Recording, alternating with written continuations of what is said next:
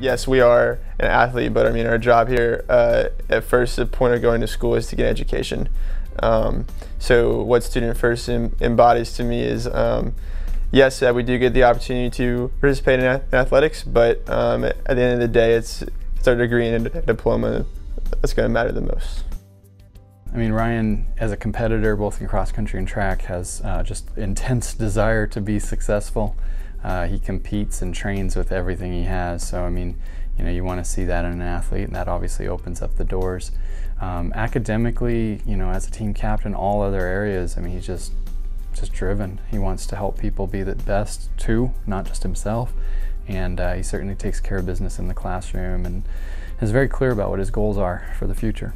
I think um, definitely uh, a sense of discipline and hard work has um, has gotten me to where I'm at today, and I hope to be able to to, to take that into the workforce um, wherever I may end up. I hope that's I think it's a key quality that I have and a key quality that I hope employers will see about me. Um, I think as also as well I have an attitude of um, of like whatever the task that I'm assigned, like I'm, I'm gonna get it done no matter what well, his his team, track and field, cross country track and field, there are a number of outstanding students on uh, those uh, teams, and the fact that he is uh, at the top in terms of uh, academics uh, just shows uh, how much he emphasizes it. it's amazing how he balances athletics, service, and academics. Yeah, I would say you definitely um, need need to find balance in your in your life, um, and balance between the athletics and the academics. But I think there's also a social side uh, to to being a college student as, a, as well, and it's determining um, those th those three buckets and learning how to manage your, time um, within those that is, is is important. I tell like our freshmen on the team all the time like hey if you feel like you like you're just overwhelmed and stressed out and, you, and you don't know what to do uh, then like and if you're not, you're not getting enough time to experience the college life then like yo like I'll take you out to eat. Um, just because I feel like that that that social aspect as a college student is super important and it's like I said it's a great stress relief.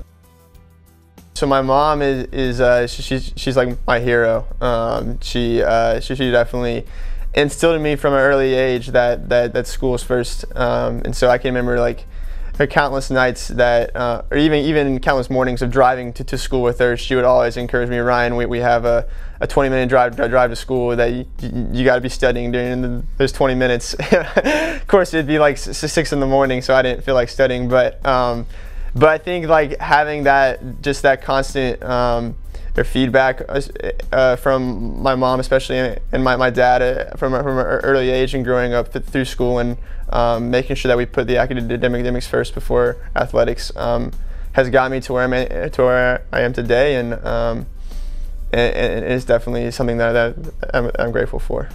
There's zero doubt about how bad he wants to, to succeed. Um, he's very clear about his goals, you know, and he knows what he wants to do, and he's he's doing everything in his power to try to get there.